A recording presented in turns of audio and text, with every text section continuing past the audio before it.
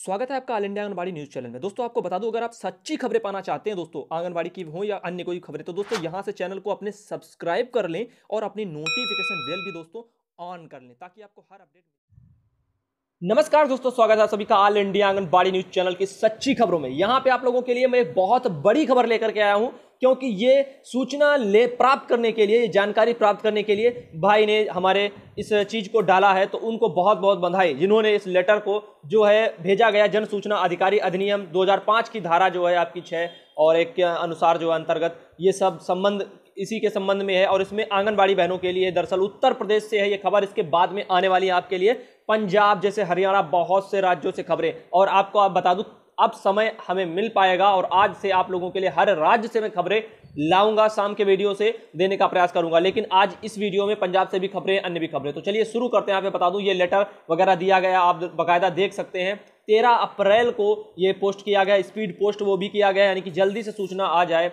तो आप लोगों को अंदाज़ा हो रहा होगा कि आप लोगों के लिए ही कितना प्रयास किया जाता है, हर एक भाई बहन कहीं ना कहीं प्रयास करते रहते हैं। उनके प्रयासों को हम आपके पास तक पहुंचाते हैं कि आप लोगों के लिए वो क्या क्या कदम उठा रहे हैं। जिन लोगों को लगता है कि कुछ नहीं हो रहा, घर में बैठे रहने से कुछ नहीं होगा, लेकिन आपको बता बता दूँ, यहाँ पे बताया जा रहा है कि उत्तर प्रदेश में 2017 में जो अक्टूबर, नवंबर, दिसंबर, तीन माह का जो मानदेय कटा था आप लोगों ने सुना होगा 2017 का मानदेय आने के लिए बहुत प्रयास किए जा रहे थे। वहीं मुख्यमंत्री जी से भी मिले थे माया सिंह जी के कहने पर, उनके वहाँ के विधायक जी, सांसद जी वगैरह, और उसके बाद में उन्होंने आश्वासन दिया था। और अब माया सिंह बहन जी ने ये भी कहा था कि वहाँ पे उन्होंने लेटर जारी कर दिया है, मुख्यमंत्री जी ने, निदेशक जी को। निदेशक जी ने कहा है कि हमें जैसे ही मिलती है सूचना और उसके बाद में मानदेय का भुगतान कर दिया जाएगा। अब इधर एक भाई, इनका भी प्रयास है, इन्होंने जन सूचना अधिकारी वगैरह के अपना नियम का पालन करते हुए और ये जानकारी मांगी है तो इनको भी इसी के संबंध में कुछ ना कुछ जानकारी आएगी। तो हर कोई प्रयास जो कर रहा है, अच्छे के लिए कर रहा है, ताकि आप चर्चा में रहें, बहनें चर्चा में रहें, तभी समस्याएँ सुनी जाएँगी। यहाँ पे बताया जा रहा है, जो तीन महीने का मानदेय था, आंगनबाड़ी कार्यकर्ती एवं सहायिकाओं का वो मानदेय, भुगतान, संलग्न पत्र, महिला एवं बाल विकास संबंधी संयुक्त समिति की मात्र समिति, जो सभापति हैं डॉक्टर संगीता बलवंत के आदेश पत्र दिनांक जो 27 आठ 2018 के अनुपालन में अन्य जनपदों की भांति, जनपद शाहजहांपुर में इनका रुके हुए मानदेय भुगतान की कृपया स्थिति स्पष्ट करें। दरअसल ये शाहजहांपुर से हैं तो शाहजहांपुर से जितनी बहनें हैं, उन्होंने अपने वहाँ की जानकारी के लिए इस लेटर को डाला है। लेकिन इससे आपको अंदाज़ा ये लग जाएगा कि अगर यहाँ के लिए जानकारी जो निकल के आती है, वो हर जगह के लिए होगी। दरअसल मानदेय अगर मिलेगा तो सभी का मिलेगा। इन चीज़ों से आप बिल्कुल स्वतंत्र रहिए और आपके प्रयासों को हर एक बहन उठा रही है, हर एक बहन जो भी संगठन है अपने अपने स्तर से प्रयास कर रहे हैं। उक्त मानदेय भुगतान प्रदेश के किन किन जनपदों में अभी तक किया जा चुका है? तथा जो, या, और जो है कितने और किस किस जनपद का उक्त मानदेय भुगतान उक्त आदेशों की लगातार अवहेलना कर अभी तक लंबित पड़ा है? बिंदुवार जो विस्तृत जानकारी प्राप्त करें, ऐसा सब कुछ पॉइंट एक में इन्होंने जानकारी के लिए मांगा है और पॉइंट दो में इन्होंने जानकारी क्या मांगी कि जनपद शाहजहांपुर में भावलखेड़ा परियोजना की सहायिका श्रीमती गुड्डी देवी एवं मदन जो आपका मदनापुर परियोजना की सहायिका मुन्नी देवी एवं मीना देवी सेवाएँ अभी तक यथावत रहते हुए भी इनका जब से निदेशालय स्तर से मानदेय भुगतान नेट बैंकिंग सिस्टम लागू किए जाने के समय से लगातार निदेशालय द्वारा अभी तक किन कारणों से नहीं दिया जा रहा है? कारण स्पष्ट करते हुए इसके लिए दोषी अधिकारी व कर्मचारी कौन है? कृपया दंडात्मक कार्रवाई सुनिश्चित कर, स्पष्ट करते हुए जानकारी प्रदान करें, तथा यह भी स्पष्ट करें कि उक्त सहायिकाओं का भुगतान जो है, तथा पिछले मानदेय भुगतान का एरियर भुगतान कब तक किया जाएगा, हर एक जानकारी और शासन से मांगी गई है इस लेटर में जो दिया गया है। दरअसल ये बहुत अच्छा लिखा जिस भी भाई, बहन का ये कदम होगा, वाकई बहुत सराहनीय है। नंबर तीसरे पॉइंट में लिखा जनपद शाहजहांपुर की समस्त परियोजना के जो है, उसमें हज़ारों आंगनबाड़ी कार्यकर्ता एवं सहायिकाओं का मानदेय जनवरी, फरवरी 2019 का बकाया अभी तक भुगतान नहीं दिया गया है। क्यों? इसके लिए भी जानकारी मांगी गई है। क्योंकि बहुत परेशानियाँ 2017 का तीन माह का कटा मानदेय उसके लिए जानकारी मांगी गई है। और आपका जो दो माह का एरियर, जनवरी, फरवरी, मार्च, अब तो हो गया तीन महीने, और वो मानदेय ये सभी मानदेय दरअसल अभी तक नहीं आए हैं। ये कब तक आएँगे, इन चीज़ों को लेकर के जो है, जानकारी मांगी गई है। चौथा जो पॉइंट आपका निकल के सामने आ रहा है, उसमें बताया जा रहा है कि विभागीय सूचना के अनुसार उक्त कार्यकर्तियों के आधार नंबर और विभाग स्तर पर संबंध नहीं किए जाने वाली उक्त कार्यकर्तियों का मानदेय भुगतान नहीं हुआ। तो इसके लिए मुख्य रूप से कौन अधिकारी व कर्मचारी दोषी है? उसके विरुद्ध विभाग द्वारा अभी तक क्या दंडात्मक जो है कार्रवाई भी की गई है? उसके बारे में भी सूचना दी जाए और कृपया जानकारी प्रदान की जाए। तो ये चार पॉइंट आपके आपने देखे, बहुत ही जो है, इसमें वज़न है। कहने का ये मतलब है कि यहाँ पे आप लोगों की भलाई के लिए हर एक पॉइंट को रखा गया है। कुछ एक भाई थे, बुनकर लाल जी, दरअसल बताना चाहूँगा राजस्थान से। उनका कहना था कि मानदेय वगैरह की ये छोटी छोटी समस्याएँ होती हैं। रुका मानदेय, कटा मानदेय, इनके लिए प्रयास करना ये कोई बहुत बड़ी बात नहीं है और ये सब वाहवाही के लिए कर रहे हैं। दरअसल मैं यही कहना चाहूँगा, चैनल पर जो लोग वीडियो देख रहे हैं, जवाब उन, वो दें, कमेंट करें और बताएँ कि ऐसे लोग जो ऐसे सवाल करते हैं फर्जी के जिनके घर में चार हज़ार सिर्फ़ मात्र रुपए मिलते हैं, अगर वहाँ पे वो पैसा समय पर नहीं आ पाता है तो कैसा लगता है उनके परिवार कैसे भरण पोषण कर पाएँगे? दरअसल उनके परिवार का गुजारा एकमात्र चार हज़ार रुपए है और उसमें भी लोग कहते हैं कि उनके लिए आवाज़ ना उठाई जाए तो किसके लिए आवाज़ उठाई जाए? क्या सिर्फ़ धरने में जाने के लिए आंगनबाड़ी बहने को बुलाया जाता है और जब मानदेय की बारी आती है तो चार चार महीने उनका मानदेय ही ना मिले, कहीं 2017 में तीन तीन महीने का मानदेय काट लिया जाए तो उसके लिए आवाज़ तक नहीं उठाई जाए। ऐसे लोग होते हैं जो गुमराह करने के लिए मैदानों में घूमते रहते हैं। दरअसल आपको बता दूँ पाँच नंबर पे जो लिखा हुआ है वंचित उक्त कार्यकर्तियों व सहायिकाओं का मानदेय भुगतान कब तक दे दिया जाएगा? कृपया जानकारी प्रदान करें।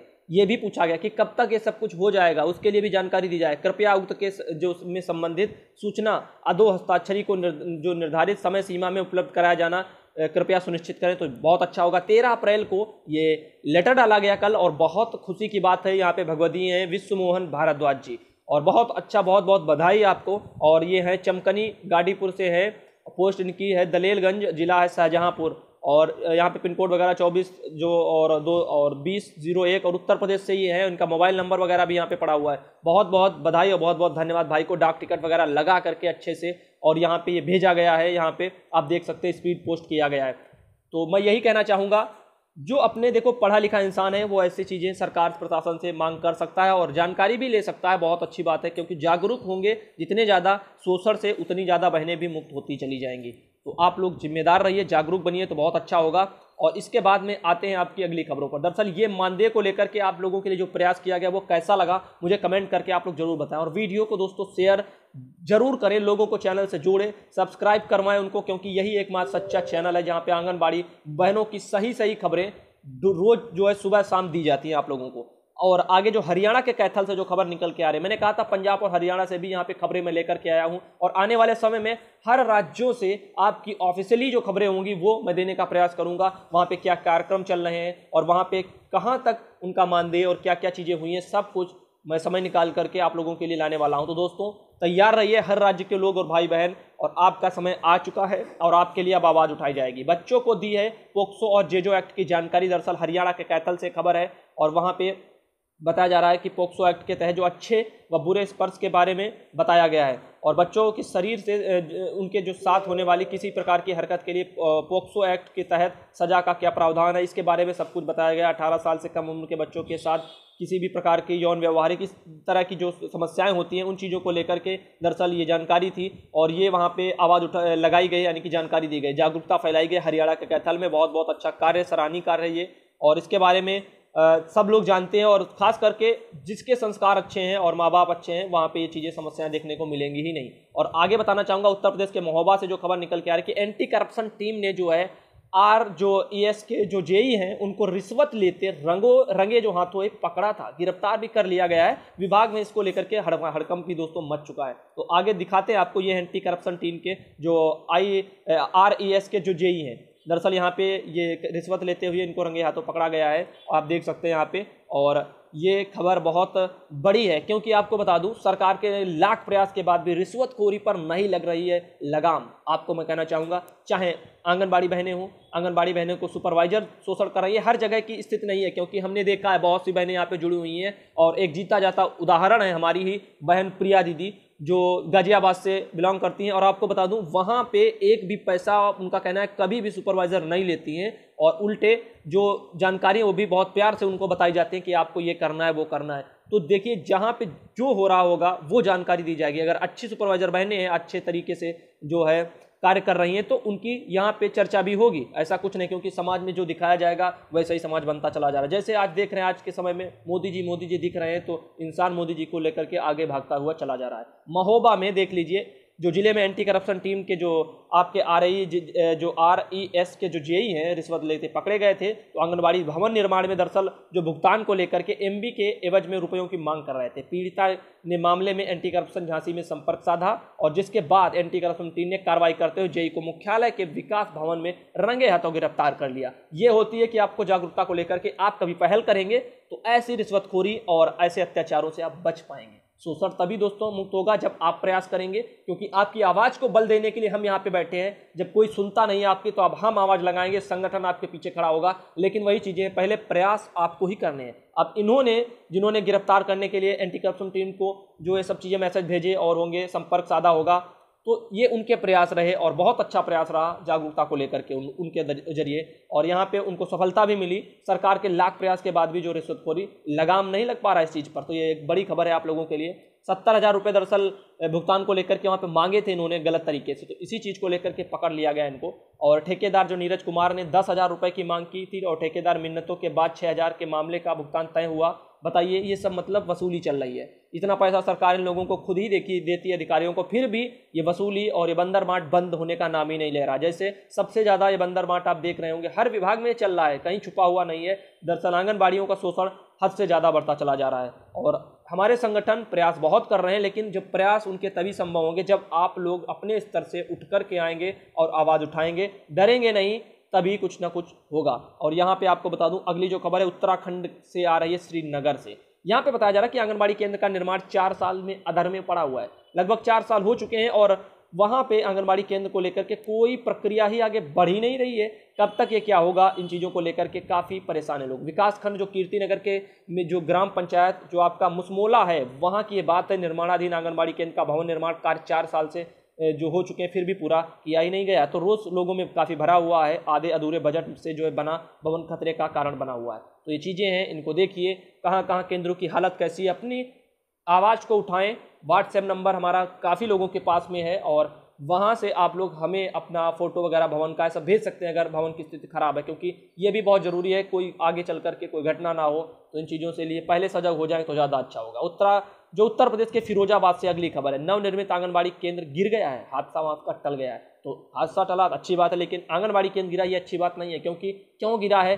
कारण तो आप जानते हैं, वही घटिया किस्म का जो माल लगाया जाता है, ठेकेदारों की ठेकेदारी होती है, पैसों जो है वहाँ से वसूले जाते हैं। जितना बजट आता है, उस हिसाब से केंद्र बनाए ही नहीं जाते हैं। ना उस हिसाब से उसमें मटेरियल यूज़ किया जाता है जो टिक सके। दरअसल कच्छ बनाए जाते हैं, भूकंप रोधी कच्छ, लेकिन दरअसल वो आंधियों में भी वो नहीं झेल पाएँगे, वो टूट जाएँगे। भूकंप को झेलने की उनमें क्षमता ही नहीं होती है। तो यहाँ पे आप देख रहे हैं उत्तर प्रदेश के बदायूं से जो अगली खबर निकल के आ रही है, अस्पताल में आशा कार्यकर्ता से भिड़ी है वार्ड आया।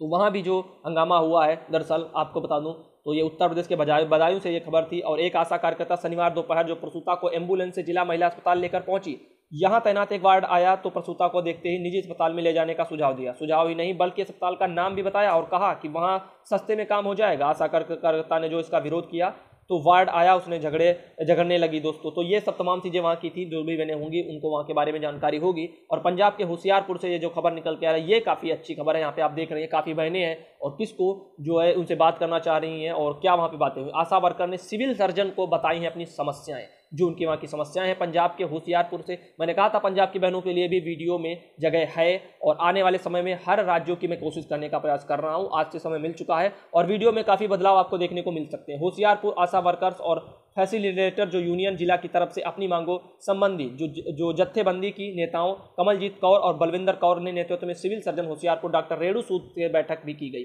तो यहाँ पे वो जानकारी मिलती हुई आप लोगों को पंजाब की बहनों के ज़रिए और पंजाब के फरीदकोट से ये जो खबर है निकल के आ रही है, इसमें दरअसल क्या बताया जा रहा है, यहाँ पे देख रहे हैं काफ़ी बहनों को कुछ हमारे भाई लोग समझा रहे हैं तो लेकिन वहाँ पे क्या है? जच्चा बच्चा सेहत संभाल की जो है ट्रेनिंग दी जा रही है दरअसल जच्चा बच्चा को लेकर के तो ये भी एक अच्छा और सराहनीय कदम है आने वाले समय में जागरूकता को लेकर के। पंजाब के फरीदकोट से दस दोस्तों खबर थी और आगे चलते हैं। जच्चा बच्चा सेहत संभालने की लेकर के इसमें थोड़ा और आपको बता दूँ कि सिविल सर्जन डॉक्टर जो अमरीक सिंह सिंधु ने स्थानीय ट्रेनिंग जो एनएक्सी हाल में पहुंचकर आशा कार्यकर्ताओं व आशा फैसिलिटेटर की छठवें और सातवें मॉड्यूल की पाँच दिवसीय ट्रेनिंग के नए बैच की शुरुआत करवाई थी। दरअसल ये अभी हाल ही की खबरें हैं, लेकिन जच्चा बच्चा को लेकर के ताकि आप लोगों को में जागरूकता बढ़े, जहाँ भी ये सब कुछ मनाया जाता है और किया जाता है, उसको लेकर के आप लोग भी सजग हो जाएँ तो बहुत अच्छा होगा। और यहाँ पे कहना चाहूँगा, कुछ चीज़ें हैं, जैसे पंजाब के मोगा से। अभी हाल ही में ये सब कुछ वहाँ के, वहाँ पे देखने को मिला था भाई और बहनों के ज़रिए ज़िले में 900 आशा वर्कर हैं, बिल क्लेम किया था 1500 का, उसको लेकर के ये खबर थी पंजाब के मोगा से। और पंजाब में जो मोगा बेटियों को बचाने की ज़िम्मेदारी संभालने वाले विभाग ने महिला दिवस के मौके पर 600 ऐसी आशा वर्करों को नाश्ता करा दिया है जो जो है ही नहीं, बताया जा रहा है। जो है ही नहीं। और ज़िले में आशा वर्कर काम कर रही हैं। 900 के लगभग जो आपके रिफ्रेशमेंट का बिल सिविल सर्जन के पास 1500 का पेश कर दिया गया है। मामले की पोल खुलते ही सिविल सर्जन ने बिल का भुगतान भी रोक दिया है। तो आप लोगों के लिए ये आज की बढ़िया खबरें, जैसे कि उत्तर प्रदेश में मानदेय को लेकर के आवाज़ उठाई गई, ये ये उत्तर प्रदेश के लिए उठाई गई। लेकिन आप सभी, राज्यों के जो भाई बहन अगर जागरूक भाई बहन वीडियो देख रहे हैं तो आप लोग कम से कम शेयर करें। जो आपके वहाँ के जागरूक लोग होंगे, उन तक आवाज़ हमारी जाएगी और वो भी ऐसे प्रयास कर सकते हैं, ऐसे लेटर लिख सकते हैं, अपने सूचना अधिकारी जो हैं उनको और वहाँ से अपनी सूचनाएँ प्राप्त कर सकते हैं जो आपको आपका संविधान जो देता है, ऐसे चीज़ों का अधिकार तो उन चीज़ों को अपने पूरा लाभ लें और जानकारी मांगे निदेशालय स्तर से, आपको पूर्णतः जानकारी दी जाएगी, क्या लंबित मांगे हैं आपकी और क्या किन चीज़ों पर चर्चाएँ नहीं हो पा रही हैं। तो आप ज़्यादा अच्छा होगा। हर कारण और हर समस्या का हल आपके यहाँ की ताकत है। जितनी आप बढ़ाएँगे अपनी ताकत को, उतना आपकी समस्याएँ यहाँ पे मैदान में सुनी जाएँगी। तो बहुत अच्छा होगा। आने वाले समय में वीडियो को शेयर करते रहिए, लाइक करते रहिए और अपने चैनल से लोगों को जोड़िए। धन्यवाद दोस्तों।